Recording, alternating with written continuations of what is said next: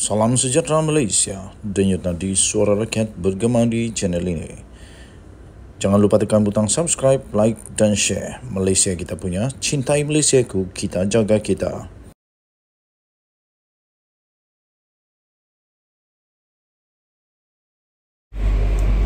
Salam sejahtera Malaysia. Denyut nadi suara rakyat bergema di channel ini. Nampaknya berita tentang Sanusi pendedahan berkaitan dengan Sanusi belum reda lagi. Belum pun selesai kes beliau didakwa menderhaka, didakwa telah menghina dan memperlekeh Sultan Selangor. Kali ini Menteri Dalam Negeri sendiri telah mendedahkan bahawa Sanusi telah didenda sebanyak RM500,000 kerana dakwaan mencuri kerana dakwaan mencuri. Wow. Sanusi, Sanusi. Saya pun tidak tahulah apa mau jadi lagi dengan Menteri Besar Kedah ni. Kesian jugalah. Semakin hari semakin banyak pendedahan. Baru saja diterbitkan di biharian.com.my 15 Julai. biharian.com.my tajuknya Saifuddin dedah Sanusi didenda RM500,000. Gua cempedak Menteri Besar ah, Menteri Besar Kedah Sanusi sekarang dalam bahaya. Menteri Dalam Negeri Datuk Seri Saifuddin Nasution Ismail telah mendedahkan bahawa Menteri Besar Kedah iaitu Datuk Seri Muhammad Sanusi Matno telah didenda sebanyak RM500,000 atas dakwaan mencuri unsur nadir bumi REE pada tahun lalu. Ha. Saifuddin berkata, Menteri Dalam Negeri ini mendedahkan perkara ini dengan berkata denda itu telah dikeluarkan oleh Pejabat Tanah dan Galian PTG ke atas pengerusi Perbadanan Menteri Besar MBI Kedah kerana kegiatan yang dilakukan di SIK. Ha, apa lagi? Semua cyber trooper cyber trooper. Kalau cyber trooper dari kerajaan cuba selidik lebih lagi tentang perkara ini. Bagi cyber trooper dari pembangkang, ha, ini tugasan kamu untuk mempertahankan Menteri Besar Kedah yang memang terkenal dengan celupar mulutnya ini. Ha. Jadi uh, apapun bagi saya sebagai rakyat biasa, rakyat netizen yang tak ada apa-apa kuasa politik, yang tak ada apa-apa uh, keahlian politik di mana-mana, saya betul-betul menunggu pendedahan ini benar atau tidak. Tapi ini Menteri Dalam Negeri sendiri cakap.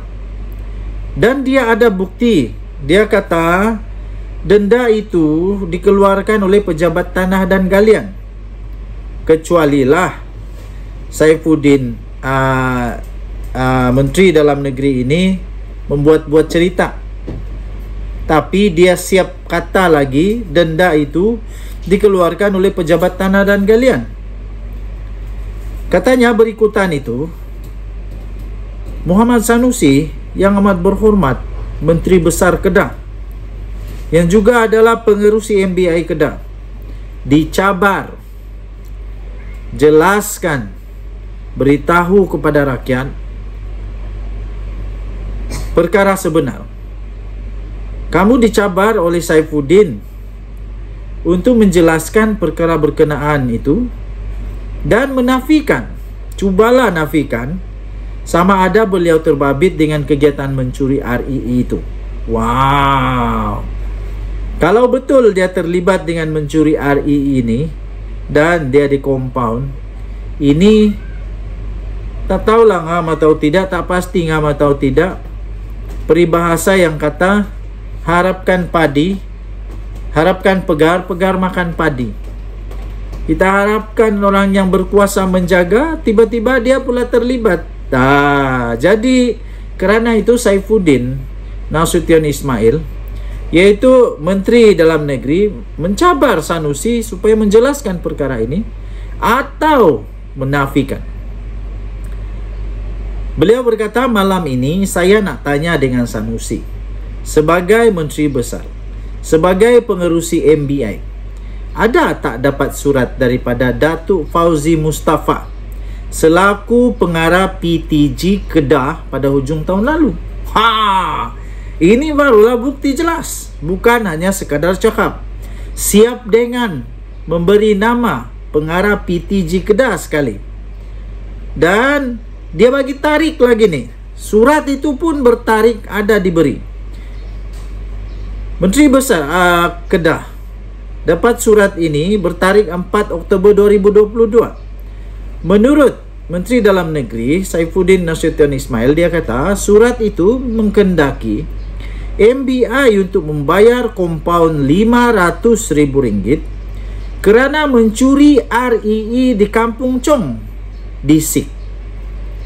Kamu Menteri Besar, kamu pengerusi MBI, surat itu bertarik 4 Oktober 2022. Ini baru detail.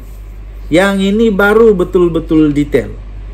Susahnya untuk menidakkan dialamatkan kepada pengerusi MBI kompaun itu di bawah section 426 kurungan 1 Kanun Tanah Negara dalam kejadian jam 2.30 petang pada 24 September 2022 kerana mencuri REE yang tanda tangan ialah Datuk Fauzi kata Menteri Dalam Negeri ini ini memang dah tak boleh lari lah beliau berkata demikian ketika berucap pada satu pelancaran jentera perpaduan Kedah di Padang Awam Pekaran Guat Cempedak di sini malam ini.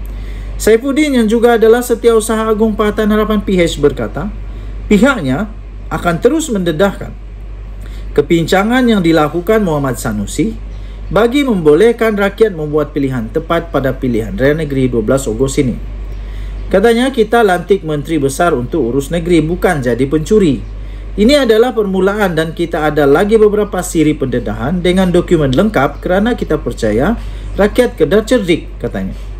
Tambahnya lagi, jangan sesekali memandang rendah kebijaksanaan orang Kedah.